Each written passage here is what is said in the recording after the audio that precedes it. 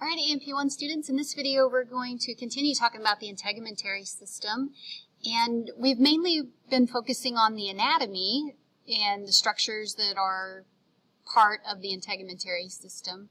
So in this video, we're going to talk more about the functions and all the different parts of the integumentary system that we identified in earlier videos um, play a role um, in the various functions of our skin.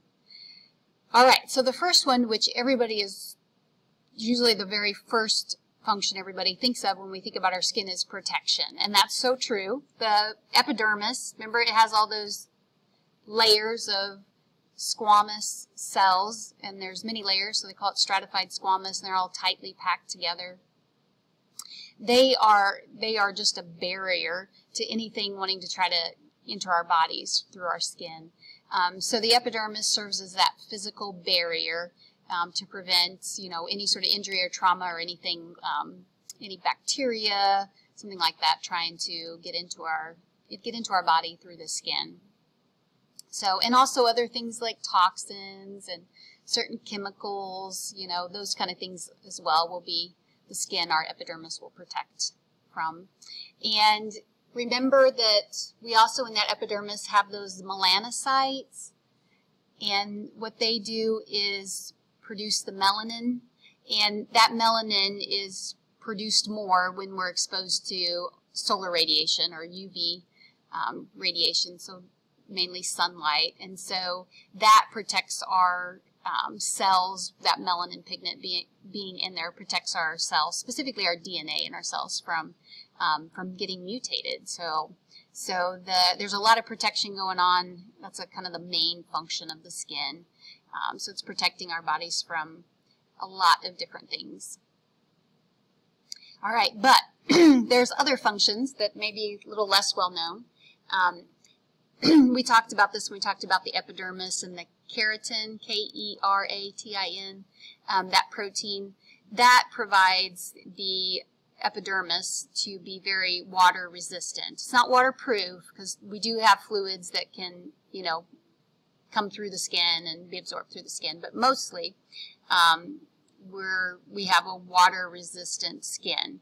Um, and so that um, allows for maintaining the proper amount of water in our bodies. So if we didn't, if it wasn't water resistant, we may like lose water or we may like take on too much water, like, you know, um, gain a lot of water and that would, that would affect our normal functioning of our body. We just need a certain amount of water and so to maintain hydration. So, so that is very important function of the skin too, is to prevent you know, excessive amounts of water loss or even like excessive amounts of water gain. So keep our, keep our hydration level and in that homeostatic range. And we'll talk about um, some disorders and kind of things, you know, abnormalities that can cause these functions to be altered and how that leads to diseases and things. So, but we'll do that in another video later on. All right, so after the protection and prevention of water loss and water gain, um, metabolic regulation is the next function of the skin. And people are probably familiar with this one. Maybe don't, maybe you don't know the details, but pretty familiar with the fact that our um, skin, the keratinocytes that are in our epidermis, um, they are able to make vitamin D. Now they they they have a chemical a molecule in them that is, we call it a precursor to vitamin D. That just means that um, it just needs one little chemical change on it and then it can become that vitamin D molecule. And so, but the, the keratinocytes that are in our epidermis need help because they can't convert that precursor to vitamin D without the help of sunlight. So the ultraviolet radiation allows for them to convert. So the ultraviolet radiation is kind of serving as a catalyst for that reaction. And so it'll convert the precursor of vitamin D to the active molecule vitamin D. Um, and so, so that's another function of our skin, and we'll talk more about that whole process when we get to the skeletal system. They do they do talk about it a little bit here in the book, and you can read over that, but we'll talk about that in more detail when we get to the skeletal system, because vitamin D does have a role in um, the health of our skeletal system too. But for now, for the skin, just remember that uh, another function of the skin is to produce vitamin D, which is needed by body for our body for various important processes. All right, so moving on, we got some more functions. Um, our skin has function functions in secretion of substances, and so two that we're probably pretty familiar with is sweat. So that's considered a secretion. Um, and you know why we do that. It's to release heat, so that way we can, our body temperature can be regulated. And then the other secretion that's probably pretty well known is that oily secretion. It's called sebum, comes from our sebaceous glands. And that um, particular molecule, or I guess substance, it's not actually, it's got molecules in it, but that particular um, secretion has um, the ability to lubricate our epidermis and our hair, keep it from drying, drying out. Um, and it also, kind of like the keratin, that protein in our keratinocytes, it also helps with water resistance too.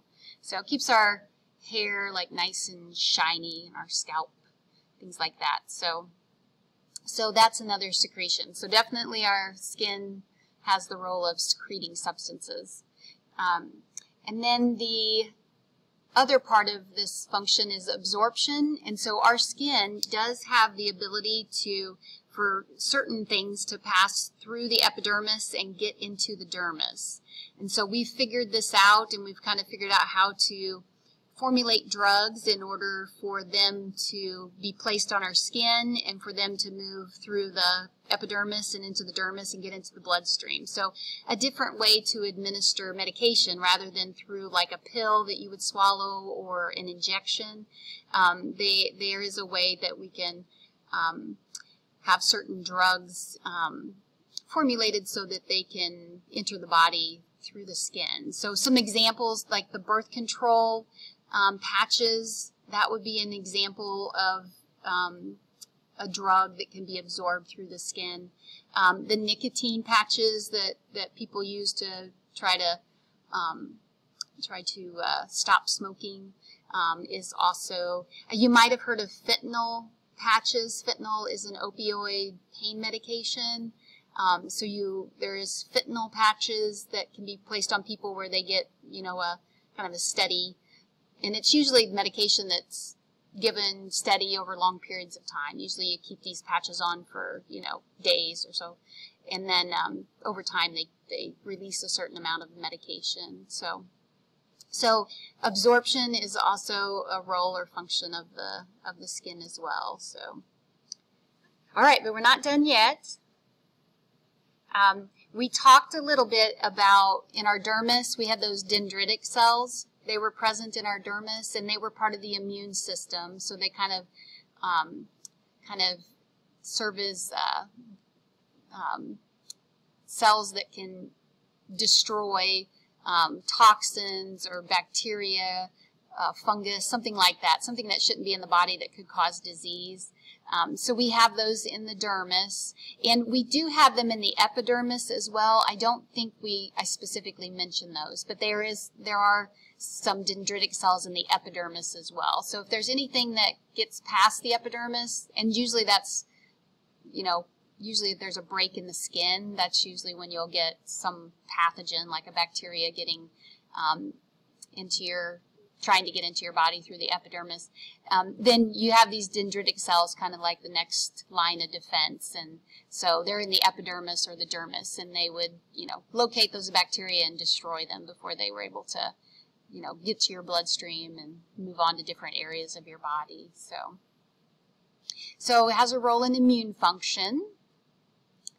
And then the temperature regulation, because it has sweat glands in it, the integumentary system contains sweat glands, and also because it contains blood vessels, um, specifically the, the uh, capillaries, which are the smallest blood vessels, and they're in the dermal area. Um, body temperature can be regulated using those two effectors. So those would be considered effectors. So let's say we get really, really hot um, and our body temperature starts to rise. Um, this, you know, our sensory receptors would detect that and send the signal to our brain, specifically the hypothalamus. And then the hypothalamus may tell the sweat glands, hey, start producing sweat and, you know, start secreting it so that we can try to get some of this heat out of the body.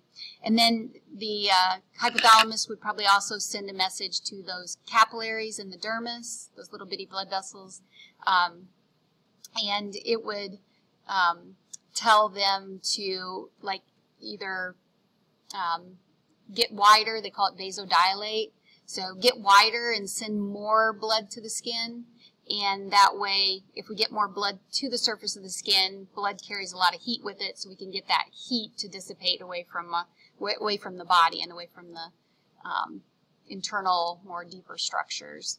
Um, so that's an example of um, how the integumentary system is involved in temperature body temperature regulation so. All right. And then our last function is sensory reception. So we did talk about the tactile cells, also called sensory receptors. Um, those are present in the dermis as well. And so they are there to detect any sort of external um, changes in the environment. So temperature changes, pressure changes, um, touch, you know, anything like that, and send that information to the to the brain or the spinal cord and we can respond to that. So, so there's a lot of nerves in the, specifically the dermis um, that are there to pick up any changes that are that's going on in our external environment um, and send that to our to our nervous system and so we can respond appropriately. So so it's a very sensory organ. So that is all for this video. I'll see you in the next video